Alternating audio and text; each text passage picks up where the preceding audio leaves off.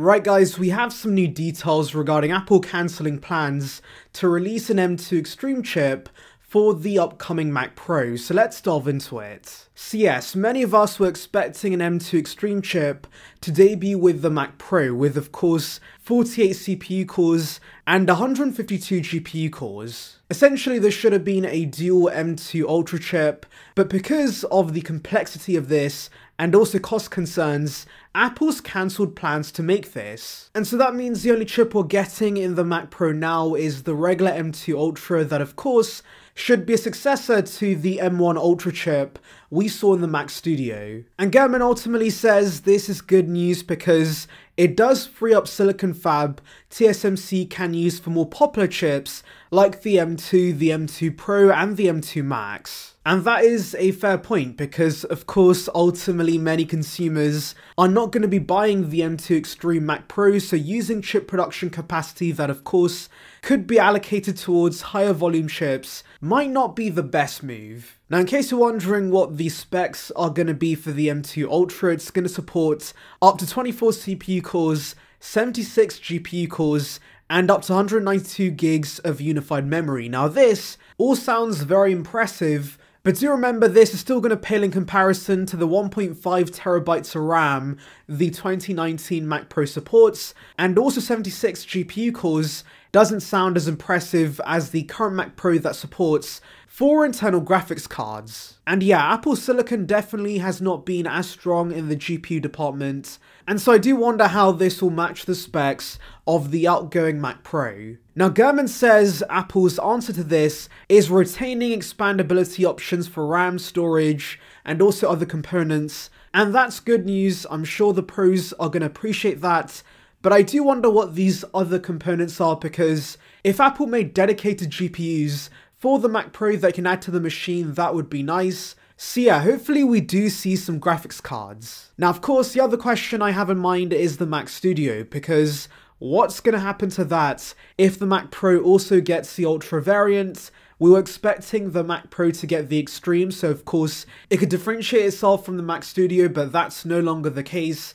And yes, we could see upgradability with the Mac Pro, but ultimately the core performance is going to be on par with the Mac Studio, so there's no need to keep both these machines. And actually, Gurman in a previous report did tell us Apple would kill off the Mac Studio as soon as the Mac Pro releases, and I guess it does make sense because the Mac Studio was very much a stopgap device, and so killing it off once the Mac Pro releases, that does make sense. But I guess I'm just surprised it's going to have such a short lifespan because it was only released in early 2022. So yeah, there's that guys. A little gutted we're not getting the M2 Extreme chip. However, maybe Apple's going to allow us to configure the Mac Pro with two M2 Ultras that can work in parallel since I believe Apple did allow us to do that with the 2013 Mac Pro so having that configuration now would be nice, especially for those wanting the best performance. Anyways, let's delve into your comments. So Marco says, the PCIe slots are used for professional video monitoring, grading slash color correction,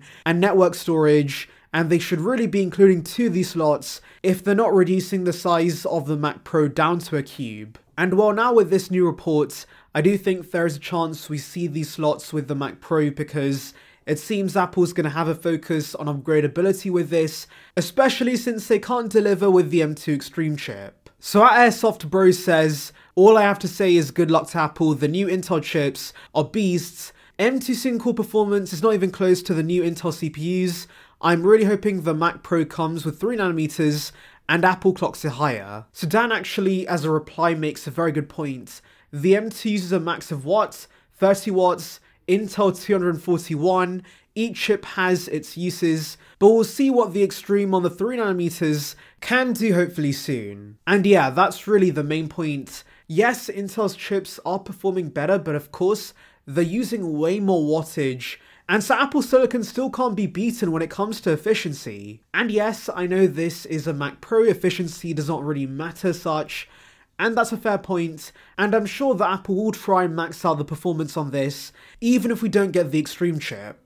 But honestly, it's good news Apple's getting some serious competition now because that's going to push Apple to give us better chips and ultimately we get better products. So regarding the potential launch of a 12-inch MacBook, iReap says hopefully never get an iPad for that. Now that's a somewhat fair statement I guess, but do remember iPads and Macs serve completely different purposes, and so I think there is a market for a Mac that's well under $1,000 that has the flexibility of macOS and can do a lot more for some people. For example, Logic Pro, Final Cut Pro, these are big apps for the Mac, and so of course an iPad can't do that. Also those who code would prefer a Mac, and so yes, I think there is a market for this, and it won't eat into iPad market share in my opinion because Again, much like there's a market for the Mac, there's a market for the iPads. For students and artists who need a stylus, the iPad only has that. For those wanting a touchscreen, the iPad again only has that. And you also get more versatility with the form factor of the iPad. So MacBook Pro 16 inch says they should get rid of the 1299 MacBook Pro and replace it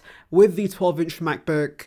That MacBook makes no sense. They already have the 14 inch and 16 inch MacBook Pro anyways. Yes, I completely agree with this. Even when the 13 inch MacBook Pro was revealed, I said it was a completely useless product. Why would you get this over the cheaper MacBook Air that of course has MagSafe, has a new design, has the better webcam. It's basically better in every aspect. And so yeah, this is completely useless. I'm assuming Apple's either going to replace this with the 15 inch MacBook Air in the works, or of course, they kill this off and make way for the 12 inch. But yes, you're right in that we already have a 14 inch and 16 inch MacBook Pro, so having a third size is completely useless. So regarding the leaked benchmarks of the M2 Max chip, at user says, how do we know these benchmarks are legit? Couldn't they just be total BS? And yeah, that is a real possibility since of course we have two benchmarks now and they have drastically different scores. We just have to take a grain of salt with these benchmarks like we do with any other leak. However, in my opinion, I do have a feeling that one of these benchmarks are actually legit because I'm sure Apple's internally benchmarking these chips, and so for one of these tests to land on Geekbench's database does seem likely. Anyways, tell me your thoughts regarding this report in the comments. Anyways, thank you for watching guys, make sure to like and subscribe for the latest Apple news and rumours. Check out the video in the above on details regarding Apple's VR headsets, and on that note, see ya peeps.